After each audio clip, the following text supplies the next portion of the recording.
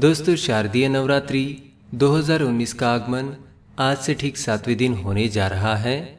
शक्ति पूजा के नौ रूपों को समर्पित यह नौ दिवसीय पर्व उनतीस सितंबर को शुरू होगा, जो 7 अक्टूबर 2019 तक चलेगा। उनतीस सितंबर को नवरात्रि का पहला दिन होगा। इस दिन घट स्थापना एवं कल स्थापना और पंडालों में सजने वाली माँ दुर्गा की मूर्तियों की स्थापना होगी। इस बार लोगों को कल स्थापना के लिए पर्याप्त समय मिलेगा। क्योंकि प्रतिपदा तिथि उनतीस सितंबर को रात्रि 10 बजे तक है। ऐसे में लोग उनतीस सितंबर की सुबह से लेकर देर शाम तक आराम से कलश स्थापना कर सकते हैं। नवरात्रि के ये नौ दिन काफ़ी शुभ माने जाते हैं, इसलिए इनकी शुद्धता के लिहाज से शास्त्रों में कुछ खास नियम बताए गए हैं। नवरात्रि व्रत के नियम की पालना करके हम देवी माँ को प्रसन्न कर सकते हैं और उनके परम भक्त बन सकते हैं। चलिए जानते हैं आखिर नवरात्रि के नौ दिन कौन सी नियमों का पालन करना चाहिए। नवरात्रि में भूल से भी ना करें ये दस कार्य। पहली बात है शेविंग।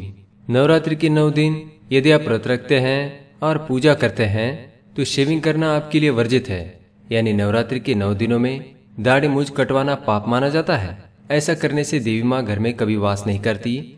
दूसरी बात है नाखून काटना। नाखून काटना इंसानों की अच्छी आदतों में से एक है। लेकिन नवरात्रि के नौ दिनों में नाखून काटना वर्जित है। इसे धन की हानि होती है और शारीरिक परेशानियाँ भी आ सकती है। तीसरी बात है खाली घर।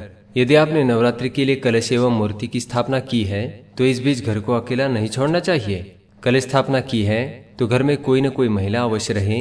साथ ही घर को रोज साफ़ रखना चाहिए, और मकड़ी की जाले दिखे तो उसे तुरंत हटा दे।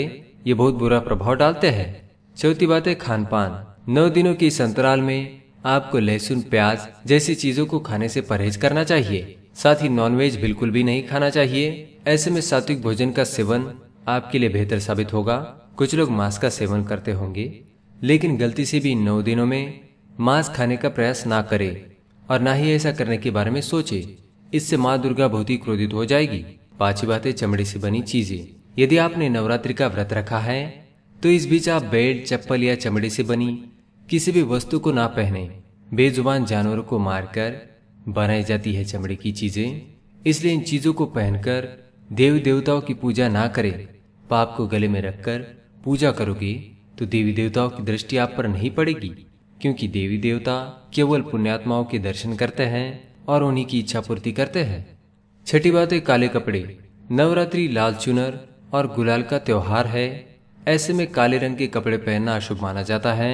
काला रंग अंधकार को दर्शाता है इसलिए नवरात्रि में इसे ना पहने सातवीं बात, नमक का सेवन। नवरात्रि के व्रत के समय आप अनाज में नमक का इस्तेमाल भूल से भी ना करें। अगर व्रत नहीं रखा है तो आप नमक खा सकते हैं, लेकिन व्रत रखा है तो इसका कठोरता से पालन करें। तभी देवी माँ की कृपा आप पर हो सकती है। आठवीं बात है, धूम्रपान एवं शराब है वर्जित। नवरात्रि के नौ दिन काफ़ी शुभ माने जाते हैं। ऐसे में इन दिनों धूम्रपान और शराब पीना वर्जित माना गया है। इन नौ दिनों में केवल शुभ कार्य करने चाहिए, जैसे कि दान धर्म करना या लोगों की मदद करना। शराब पर पैसे लुटाने से अच्छा है कि किसी भूखे को रोटी खिला दो। इससे देवी माँ जल्दी प्रसन्न हो जाएगी। नवी बात है ब्रह्मचार्य। नवरात्रि में एक बात का विशेष ध्यान सभी को रखना चाहिए। यदि आप व्रत कर रहे हैं या ना कर रहे हैं, लेकिन इन नौ दिनों में हर व्यक्ति को ब्रह्मचार्य का पालन करना चाहिए। नवरात्रि के दिनों में शारीरिक संबंध ना बनाए और ना ही किसी परा स्त्री के प्रति मन में दूषित विचार आने दे। दसवीं बात है मासिक धर्म। यदि आपके मासिक धर्म का दौर चल रहा है तो इन दिनों आप पूजन नहीं कर सकते।